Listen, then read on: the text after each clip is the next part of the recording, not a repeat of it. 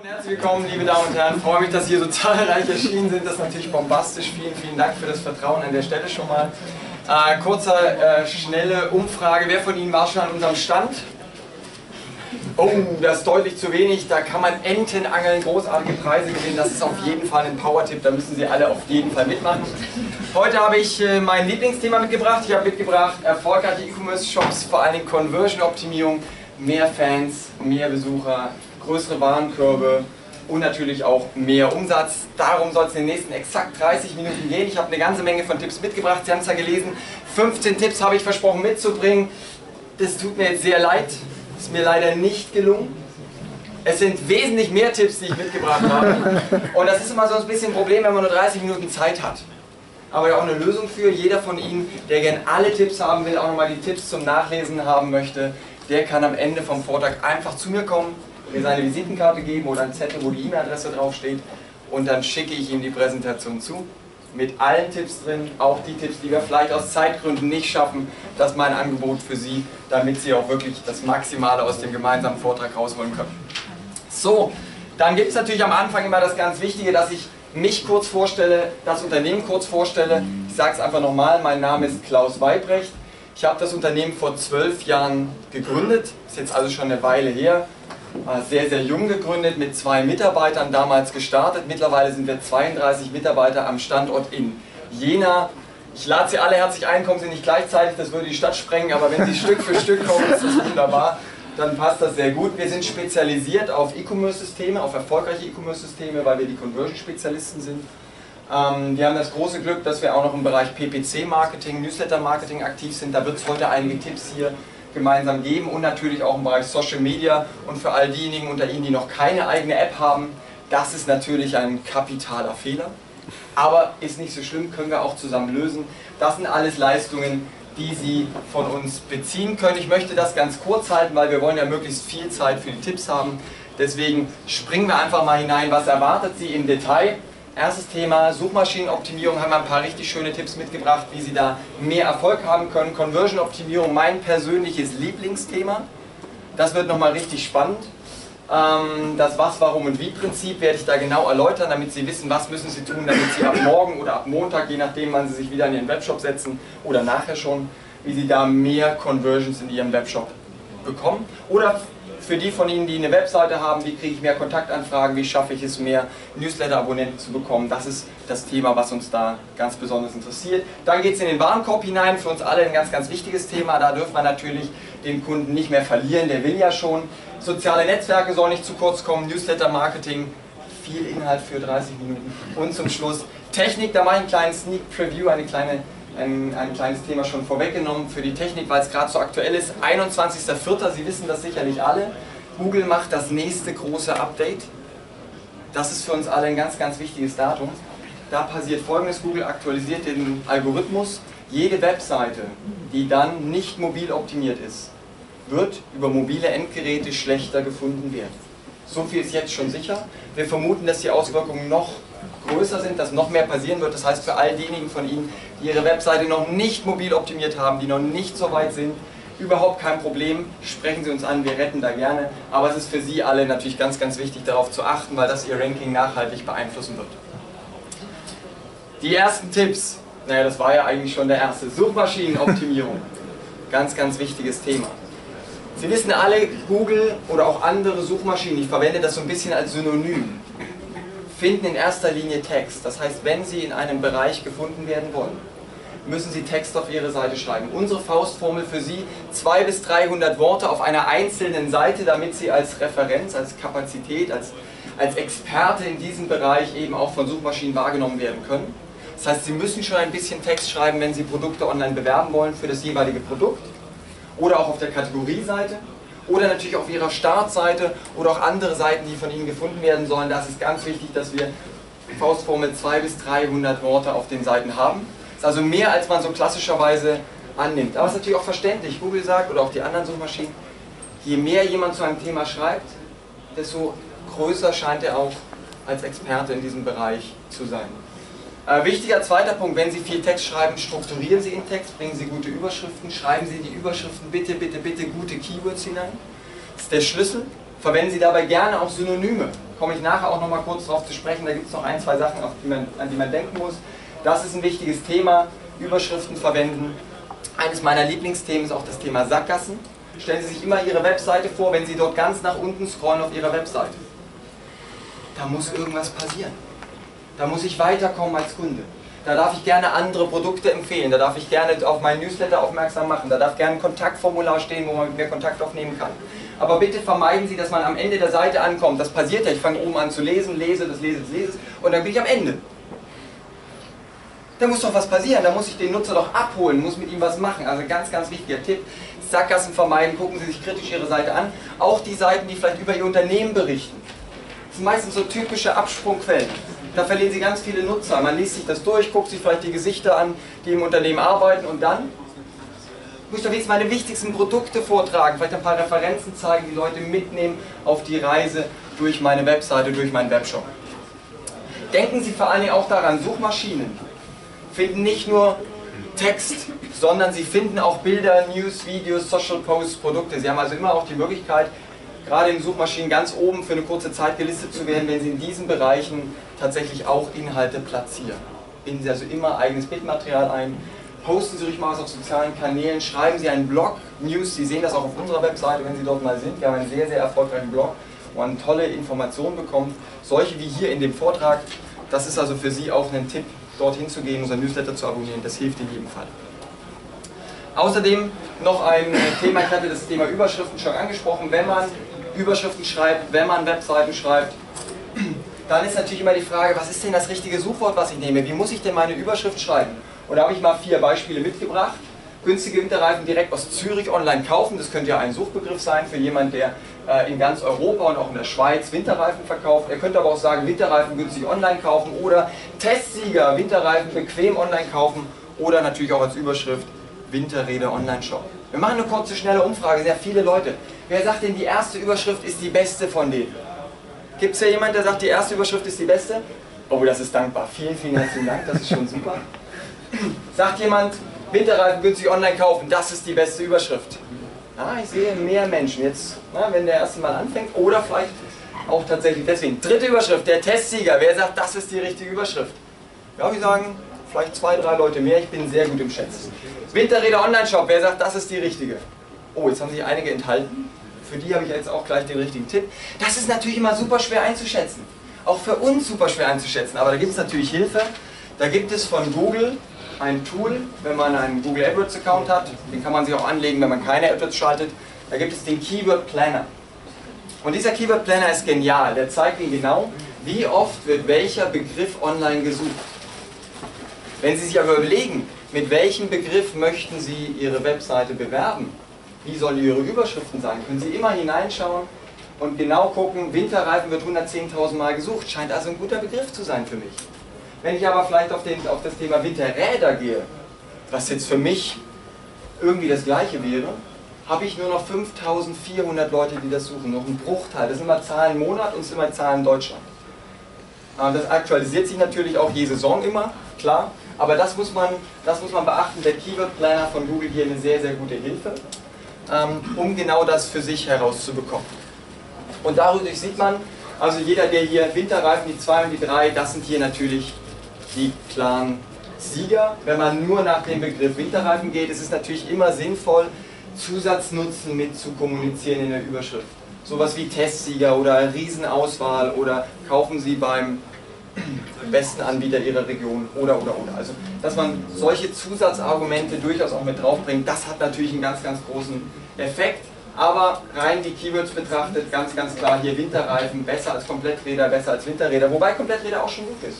18.100. Würde sich vielleicht sogar lohnen, eine kleine Landingpage zu bauen, 300 Wörter drauf zu schreiben, schöne Überschriften, ein paar schöne Bilder, ein paar Produkte drunter platziert. Das macht ganz viel Sinn, um dort mehr zu erreichen. Großer Effekt und für mich mein Lieblingsthema, das Was, Warum, Wie-Prinzip. Sie müssen, wenn Sie eine Webseite, wenn Sie einen Online-Shop haben, Sie müssen bitte, bitte, bitte immer dem Nutzer sagen, was er tun soll. Es gibt so viele Webseiten da draußen, da kommt man drauf und niemand sagt dann, was man tun soll. Schreiben Sie, kaufen Sie jetzt online bei uns unsere wegen mir Gartenmöbel oder unsere Winterreifen oder was auch immer. Das müssen Sie genau hinschreiben. Dann müssen Sie, deswegen heißt das was, warum und wie, ähm, wie es in der Überschrift steht, warum soll der Nutzer bei Ihnen einkaufen? Erklären Sie es ihm. Tolle Auswahl, genialer Service. Sie haben vielleicht äh, ein längeres Rückgaberecht. Geben Sie dem Kunden das Warum mit. Damit er das weiß, damit er in seinem Kopf sieht, ah, okay, ich soll Winterreifen kaufen, logisch, brauche ich gerade welche. Okay, es ist auch noch der beste Anbieter dafür, super, mache ich. Und machen Sie, und das ist das Wie, machen Sie es ihm so einfach wie möglich.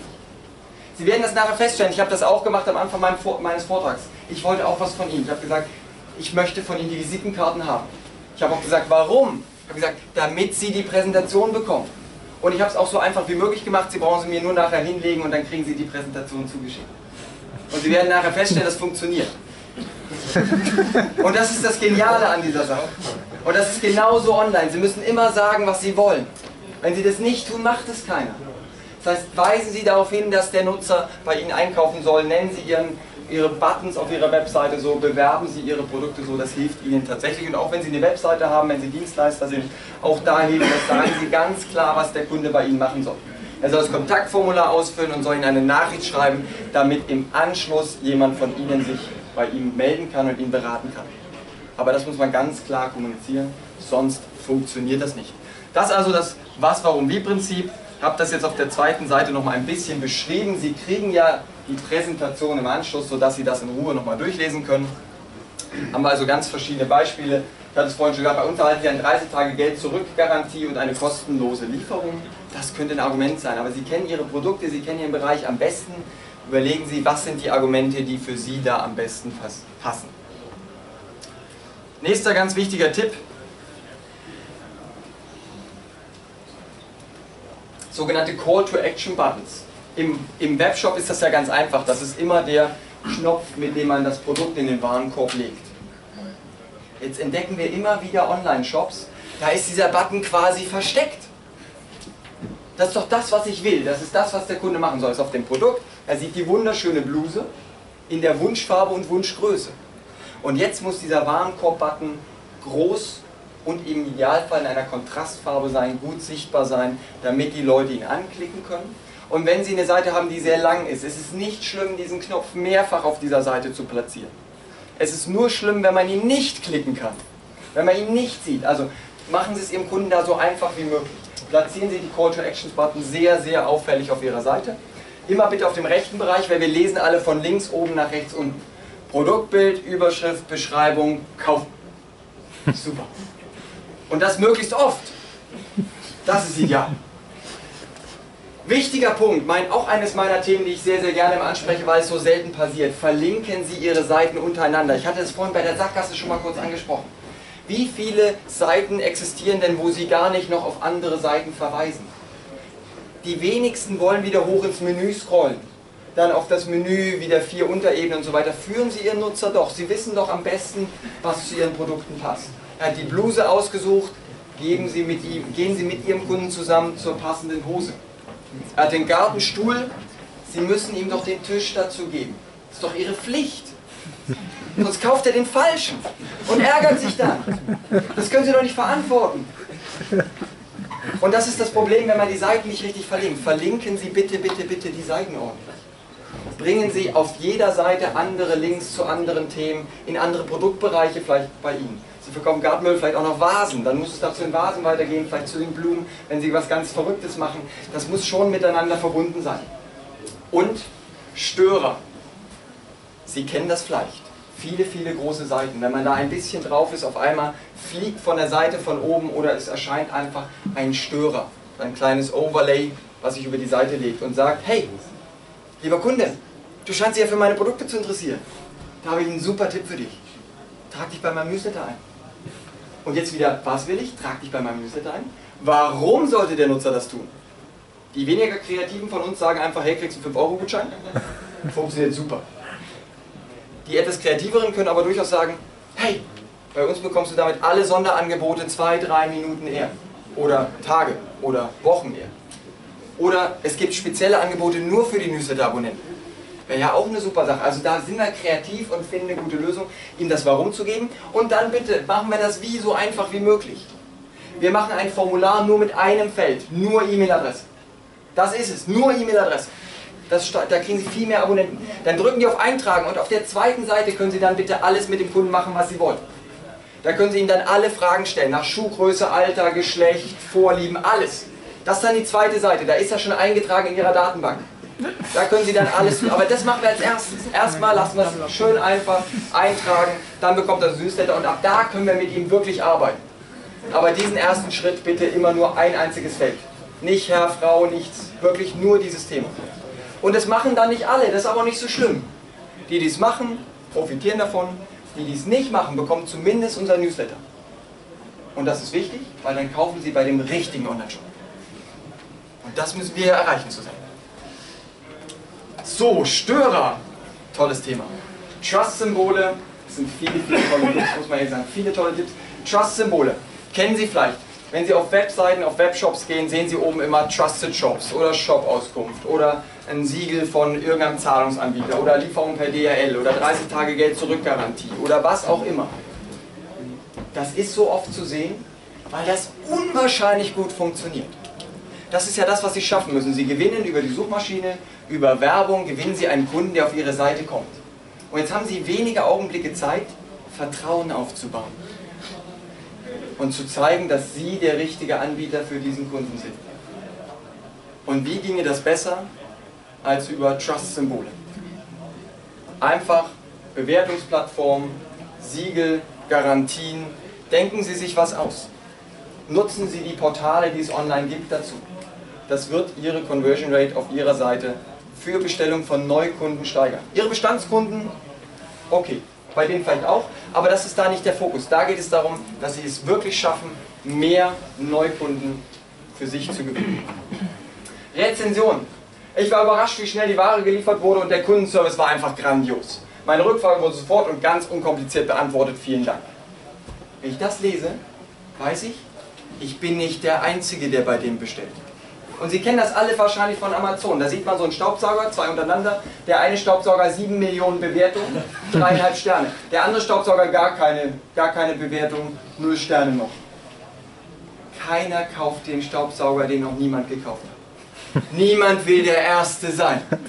Niemand will der sein, der blöderweise den falschen Staubsauger kauft. Niemand! Deswegen müssen Sie das nutzen. Bringen Sie Kundenrezensionen drauf. Sie haben glückliche Kunden. Schicken Sie denen eine Mail, sagen, Mensch, es wäre mir was wert, wenn Sie mich bewerten, wäre ich Ihnen sehr dankbar. Wenn Sie nur schreiben, Sie wären Ihnen sehr dankbar, werden mehr Leute Sie bewerten. Wenn Sie sogar noch anbieten, dass er einen kleinen Vorteil davon hat, vielleicht Ihren Newsletter bekommt oder äh, vielleicht ein Gratisprodukt bei der nächsten Bestellung, sogar noch mehr Leute, die Ihnen da helfen. Und das ist wirklich Geld wert. Diese schönen Rezensionen sind wirklich Geld wert. Idealerweise schreibt der Kunde sogar irgendwas, was zu Ihren Vorteilen Ihrer Produkte oder Leistung passt. Dann heben Sie es hervor. Machen Sie es deutlich, machen Sie es groß. Logos schaffen Größe auch ein ganz wichtiges Thema, gerade im B2B-Bereich, aber natürlich auch für alle, die an Endkunden verkaufen. Versuchen Sie, Logos von wichtigen Kunden von sich mit zu platzieren. Wenn Sie also ein paar große Brands haben, die bei Ihnen einkaufen, auch das schafft einfach nur Vertrauen.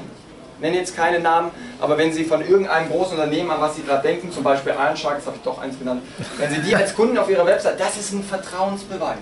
Da werden noch mehr Leute, also wenn der Ironshard kauft, also dann kauft er auch. Das ist der Effekt, der dadurch entsteht. Zwölf Minuten haben wir noch zusammen, das wird richtig spannend. Ähm, für mich ein wichtiges Thema, testen Sie ruhig mal AdWords, Facebook Ads, Twitter Ads für Ihren Online-Shop. Wer von Ihnen nutzt schon Twitter Ads? Zwei, sehr geil. Super, wichtig. Wir, das ist ja erst vor sechs Wochen gestartet in Deutschland, also noch ganz jung, vielleicht sind es auch sieben, nageln Sie mich nicht auf den genauen Tag fest. Aber das funktioniert bombastisch. Also wenn Sie mit Google AdWords Erfolg hatten, Twitter Ads noch besser. Machen noch ganz wenige. Wir erzählen das auch nicht weiter. Ne? Wir behalten das für uns. Twitter Ads machen noch ganz wenige. Die Klickpreise sind niedriger. Die Leute, die darauf klicken, konvertieren im Webshop wesentlich besser. Nach unseren Erfahrungen jetzt nach sechs Wochen. Also probieren Sie das aus. Nehmen Sie ein kleines Budget in die Hand, registrieren Sie sich dort, äh, legen Sie Ihr Budget dorthin. Und das ist übrigens für all diejenigen, die sagen, oh nee, ich will nicht twittern. Das ist völlig okay. Sie müssen nicht tweeten, nicht twittern, nicht zwitschern, nichts. Das ist einfach nur, dass Ihre Werbung im Twitter-Netzwerk angezeigt wird. Da klickt man drauf und kommt dann auf Ihre Unternehmenswebseite. Das wäre die einfachste Variante, die jeder von uns, der jetzt hier ist, nutzen kann. Das ist wirklich spitze. Versprechen Sie mir, dass Sie hier rausgehen und das ausprobieren. Das ist wirklich genial. Das ist wirklich gut. Ähm, Ja, wichtiger Punkt bei dem Thema ist natürlich auch immer, dass man eine hohe Conversion-Rate in seinem Webshop hat. Das ist ein wichtiger Faktor. Ich zahle Geld für einen Klick, dann muss derjenige, der klickt, auch möglichst bei mir kaufen. Und viele der großen äh, Suchmaschinen oder Webseiten belohnen das auch, wenn ihre Webseite eine gute Conversion-Rate hat, dann zahlen sie dort weniger. Dann zahlen sie für den Klick weniger, obwohl sie besser gelistet werden, weil natürlich diese großen Portale immer Interesse daran haben, den Kunden glücklich zu machen. Also nicht sie, sondern die, die auf ihre Anzeigen klicken und bei ihnen dann kaufen. Deswegen ganz wichtiger Punkt, deswegen sprechen wir heute auch über Conversion-Optimierung, dass sie beginnen, ihre Conversion des Webshops weiter zu steigern. Jetzt habe ich es angedeutet vorhin, ganz wichtiger Part, der Warenkorb. Aller Ende ist schwer, sagt man ja so schön. Ähm, jetzt haben wir den Kunden soweit, er hat die wichtigen Produkte im Warenkorb. Und jetzt müssen wir dafür sorgen, dass er nicht mehr abgelenkt wird. Jetzt muss er ganz sauber durch den Warenkorb durch, da dürfen keine Irritationen mehr auftreten, da darf kein Fragezeichen mehr entstehen, da dürfen wir nicht mehr verwirren, das muss jetzt schön einfach sein. Und wir müssen ihm auch nochmal sagen, warum er bei uns kaufen soll. Falls er unterwegs denkt, auch eigentlich könnte ich ja nochmal online vergleichen oder eigentlich habe ich ja doch jetzt gerade irgendwie noch Lust, was anderes zu tun, dass wir nochmal die wichtigsten USPs, die wichtigsten Vorteile von uns mit hinschreiben. 30 Tage Geld zurückgarantie, kaufen ohne Risiko, Sie kaufen bei dem besten Online-Shop in dem Bereich, was auch immer. Schreiben Sie Ihre Vorteile dort mit hin nochmal immer links neben dem Button, weil ganz unten rechts ist immer der Button, ganz oben rechts ist immer der Button zum Weitergehen. Schreiben Sie da links daneben bitte nochmal Ihre Vorteile. Damit die Kunden, wenn sie zweifeln, an diesem Punkt weiterkommen. Und sagen, ah stimmt, Sie haben völlig recht. Ich habe eine Geld-Zurück-Garantie, da kann ich ja problemlos kaufen, super, mache ich. Ähm, Ablenkung vermeiden bedeutet auch, Sie kennen das vielleicht auch von vielen Shops schon, keine Navigation mehr bieten, um in ihr Produktsortiment hineinzukommen. Jetzt behalten wir ihn im Warenkorb. Jetzt geben wir ihm nicht noch Inspiration für andere Produkte. Dann passiert nämlich folgendes. Der sieht eine Jeans, geht drauf, stellt fest, es ist nicht in seiner Größe da und schwupps haben wir das Problem, dass er seinen Kauf bei uns nicht abgeschlossen hat. Und das ist ja wieder schade. Jetzt müssen wir den neu gewinnen. Jetzt müssen wir nochmal AdWords bezahlen, nochmal Twitter-Ads bezahlen, nochmal irgendwas bezahlen, damit er wieder zu uns kommt, sich daran erinnert, ach, ich hatte ja noch was in meinem Warenkorb, dann da durchgefallen. Das müssen wir vermeiden. So, wenn der im Warenkorb angekommen ist, yippie! Und jetzt führen wir ihn schön durch. Und sagen auch, hey, wenn du irgendwelche Probleme in unserem Warenkorb hast, ruf uns an. Oder schreib uns eine Mail. Damit er dort in der Lage ist, ähm, auf jeden Fall abzuschließen. Deswegen ist auch der nächste Tipp für mich ganz wichtig. Zahlungsoptionen und Versandoptionen. Es gibt ja viele, die sagen, ja, Express ist ja viel zu teuer, wenn ich da jetzt irgendwie 50 Euro Aufpreis nehme dafür, dass er die Strümpfe eine Woche eher hat. Das ist ja vielleicht irgendwie zu teuer. Entscheiden Sie das bitte nicht für Ihren Kunden. Das kann sein, dass die meisten sagen, das ist zu teuer. Müssen Sie an ihn nehmen. Aber es gibt die Kunden, die sagen, hey, ich brauche die Strümpfe, das sind genau die Strümpfe, ich bin eine Woche auf Segeltour, dann brauche ich genau das. Und dann sind die bereit, das zu bezahlen. Bieten Sie den Kunden die Optionen an verlieren Sie sie nicht dadurch, dass Sie eine Option nicht anbieten, weil Sie gedacht haben, das macht ja eh keiner. Und auch bei den Zahlungsoptionen ist mir das so wichtig. Geben Sie dem Nutzer möglichst viele Zahlungsoptionen. Dann kann er sich fürs Beste entscheiden. Müssen wir ja gar nicht für ihn entscheiden. Können Sie auch mit Aufpreisen arbeiten, alles kein Problem. Aber bieten Sie ihm bitte, bitte, bitte möglichst viele Optionen. Ach, noch ein ganz wichtiges Thema, finde ich total toll. Jetzt erinnern wir uns nochmal an das Newsletter-Marketing. Sieben Minuten ist eine gute Zeit. Ans Newsletter-Marketing habe ich ja gesagt, wenn man sich eingetragen hat, kommt man auf eine zweite Seite und da fragen wir alles Wichtige ab. Damit wir ihn erstmal zum Eintragen der E-Mail-Adresse bekommen. Gleiches gilt für mich auch im Warenkorb. Derjenige kommt durch den Warenkorb durch und sagt jetzt Bestellung abschicken. Abschließen. Dann kommt der eine, vielen Dank für Ihre Bestellungsseite, die von vielen Händlern sträflichst vernachlässigt wird. Zu Unrecht. Das ist die perfekte Seite. Das ist die, das ist die schönste Seite, die man gestalten kann. Der Kunde hat gekauft. Sie haben das, die beste Beziehung zu Ihrem Kunden. Der vertraut Ihnen. Der mag Sie. Der möchte von Ihnen beraten werden. Jetzt können Sie mit dem Kunden alles machen. Sie können den Newsletter anbieten. Geben Sie ihm nochmal das Warum. Hey, melde dich noch schnell zu unserem Newsletter an. Kriegst noch 5 Euro Rabatt. Oder für die Cleveren unter uns, bekommst die Aktion etwas eher. Empfehle uns deinen Freunden weiter. Oder wir können auch sagen, hey, ich hätte noch zwei Produkte, gebe dir fünf Minuten Zeit, kannst du überlegen, das sind zwei Produkte, die ich dir anbieten würde. Die kriegst du jetzt, wenn du sie gleich kaufst, ein bisschen günstiger. Und ist gar kein Problem, die füge ich einfach noch in deine Bestellung hinzu. Du brauchst nur zweimal klicken. Ich weiß ja noch alles von dir, ich habe das ja noch. Und dann machen wir Upselling.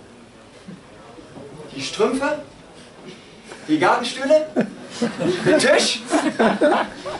Das ist doch geil. Das ist die beste Seite. Ich will nur diese Seite haben. Meine Lieblingsseite. Das, das ist der Moment, wo wir mit dem Kunden verkaufen können. Das müssen Sie integrieren. Ganz wichtiger Punkt. Social Media. Viele Menschen sind auf sozialen Netzwerken. Das ist super. Viele Unternehmen und Webshops versuchen auf diesen sozialen Kanälen aktiv zu sein. Bitte denken Sie dabei immer daran, es handelt sich um eine soziale Plattform. Und das bedeutet, man muss miteinander was machen. Das nicht zum Alleine was machen. Social Media heißt miteinander was tun. Bedeutet für mich, jeder Post, alles was Sie auf den sozialen Kanälen schreiben, muss animieren mitzumachen. Wir denken darüber nach, welche Produkte wir im nächsten Sommer in unseren Online-Shop nehmen. Habt ihr mehr Interesse an roten Produkten oder an grünen Produkten? Hey, da kann was dazu sagen, da habe ich eine Meinung. Das ist Interaktion mit meinen Kunden. Perfekt. Fragen Sie nach Meinungen. Fordern Sie auf zur Interaktion. Bitten Sie um Feedback. Sorgen Sie bei allem, was Sie auf den sozialen Kanälen tun, immer äh, dafür, dass man mit Ihnen in Interaktion treten kann. Und jetzt das Allerwichtigste. Sie sind da nicht allein. Das heißt, es gibt andere Online-Shops, die nicht ihre Produkte verkaufen, die sind da auch. Und wie geil wäre das denn, wenn Sie auf Ihrem Social-Media-Kanal posten, war gerade im Internet unterwegs und habe diese geniale Sonnenbrille gesehen im Online-Shop XY. Wollte ich euch einfach mal zeigen. Und wenn der Online-Shop, der die Brillen hat, schreibt, war gerade im Internet unterwegs, hab zufällig diese tollen Gartenmöbel gesehen. Wollte ich euch einfach mal zeigen. Wie geil wäre das denn? Haben da nicht beide was davon? Hat der da nicht zwei Brillen verkauft und zweimal Gartenmöbel? Das wäre doch super. Und wenn wir damit gegenseitig 10% mehr Fans kriegen, dann haben wir da nicht mal was für bezahlt. Wir geben so viel Geld aus für Facebook-Ads. Wir geben so viel Geld aus für Google AdWords. Wir geben so viel Geld aus für Twitter-Ads. Das ist gratis. Das dauert nicht mal lang. Das machen viele von uns einfach in der Freizeit. Die nehmen ihr Handy, fotografieren, was ein Posten ist. Das können wir nutzen. Netzwerken Sie untereinander. Links und rechts. Und dann haben wir heute nachher schon ein paar der ersten Posts, die das nutzen können. Finde ich super. Oh ja, YouTube. Ich liebe YouTube. Es gibt keine Plattform, wo ich so viel Lebenszeit verliere wie auf YouTube. Großartige Plattform vor allen Dingen für Sie. Wer in der Lage ist, ein kurzes Video zu erstellen, kann mit diesem Video auf YouTube werben. Bevor ich also meinen Film sehe, den ich eigentlich sehen will, kommt von Ihrem Online-Shop eine kurze Werbung. Das ist wie Fernsehwerbung, nur viel billiger und funktioniert super. Weil es wenig machen. Das ist wie mit den Twitter-Ads, es machen einfach noch wahnsinnig wenige. Weil sie den Aufwand scheuen, weil sie glauben, es ist wahnsinnig kompliziert. Muss es nicht sein. Probieren Sie es einfach mal aus. Schalten Sie dort mal kleine Videoanzeige vor den Videos. Kann man auch wieder vom Budget schön klein halten. Man muss nicht gleich wie bei Fernsehwerbung mit viel Geld arbeiten. Man kann mit einem schmalen Budget starten und gucken, wie funktioniert es. Und dann kann man es ausbauen. Also für mich eine ganz, ganz wichtige Sache. Wer sowieso Videos von seinen Produkten dreht, ganz, ganz klar, das ist eine soziale Plattform. Das bedeutet, suchen Sie sich Gleichgesinnte, die auch ein paar Abonnenten haben und posten Sie wieder ein Video von ihm, bei sich und von sich, bei ihm, damit man sich hilft gegenseitig. Zusammen mehr erreichen. Soziale Netzwerke, für mich ganz wichtiges Thema. Newsletter-Marketing, ich habe noch eine Minute. Der Rest gibt es gegen Visitenkarten. Zum Schluss ein Tipp davon, schicken Sie im Newsletter-Marketing bitte niemals Ihre Newsletter von der gleichen Domain wie Ihre normale Geschäftspost. Sollte es wirklich mal passieren, dass Ihre Newsletter dazu führt, dass Sie als Spam gelistet werden, kommt Ihre Geschäftspost nicht mehr an. Ihre Bestellbestätigung, Ihre normalen E-Mails, die Rechnung über so und so viel Geld, die kommt dann nicht mehr an. Trennen Sie das. Zwei Server, zwei Domains, machen Sie Ihren Webshop-Namen news.de zum Beispiel als zusätzliche Domain und verschicken Sie darüber. Damit das nicht passieren kann. Es ist zwar leicht, wieder äh, aus diesem Spam-Klassifizierung rauszukommen, aber es ist besser, wenn man das von Anfang an getrennt hat. Jetzt kämen noch ein paar ganz, ganz spannende Dinge. Aber 30 Minuten sind 30 Minuten. Sie dürfen sehr, sehr gerne mit all Ihren Fragen zu mir kommen. Ich schwöre, ich verlasse die Messe heute erst, wenn alle Fragen beantwortet sind. Und äh, möchte mich bei Ihnen ganz, ganz herzlich bedanken. Hat viel Spaß gemacht mit Ihnen. Schön, dass Sie so erschienen sind.